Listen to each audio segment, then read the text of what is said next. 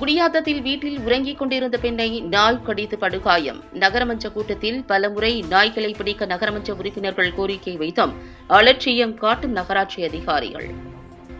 வேலூர் மாவட்டம் குடியாத்தம் புத்தநகர் பகுதியைச் சேர்ந்த மல்லிகா என்பவர் வீட்டிற்குள் தெரு நாய் ஒன்று நுழைந்துள்ளது. அப்போது வீட்டின் அருகில் கட்டில் மேல் உறங்கிக் கொண்டிருந்த மல்லிகாவின் கால் விரல்களை கடித்துள்ளது.